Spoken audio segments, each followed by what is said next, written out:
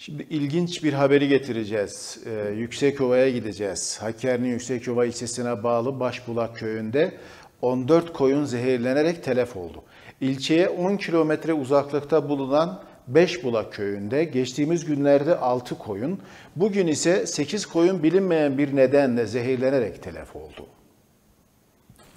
Benim kardeşim Hakkari'nin Yüksekova ilçesine bağlı Beşbulak köyünde 14 koyun zehirlenerek telef oldu. İlçeye 10 kilometre uzaklıkta bulunan Beşbulak köyünde geçtiğimiz günlerde 6 koyun, bugün ise 8 koyun bilinmeyen bir nedenle zehirlenerek telef oldu. sahibi burada değildi. Komşuların yardımıyla toplandık. Ee, aşı yaptık. Birinci aşıyı. Fakat bugün gelen doktor gene aşınız etkisizmiş. Tekrar aşılandık. Üç gün önce e, 6-7 tanesini telef oldu. Bugün 8 tanesi telef olmuş. Sahibi de burada değil. Benim kardeşimdir Hikmet Doro. Hastası var. Van Bölge Hastanesi'nde hastasını tedavi ediyor şu anda. Biz de köylülerin yardımıyla, komşuların yardımıyla, doktorun yardımıyla aşımızı yaptık. Bir de ceyran tutar gibi oldu. Elektrik çarpar gibi oluyor.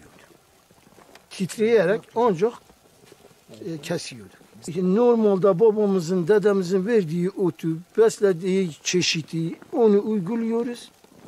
Oniden iki, e, ikinci sefer oluyor. Yaşanan olay üzerine koyun sahipleri veterinere haber verdi. Sürüdeki diğer koyunlara aşı yapıldı.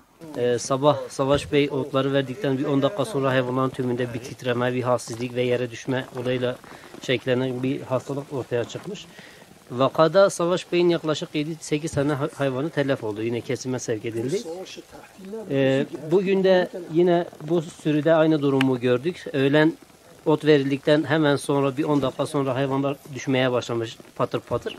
Ee, bugün 8 tane hayvan kesime sevk edildi. Ee, sağ olsun e, komşular koşmuş yardımına ölüm gerçekleşmeden hepsi de kesilmiş. Kalanlarla ilgili de durum çok iyi değil. Şu an durum çok vahim. Muhtemelen bir gıdayı zehirlenme söz konusu.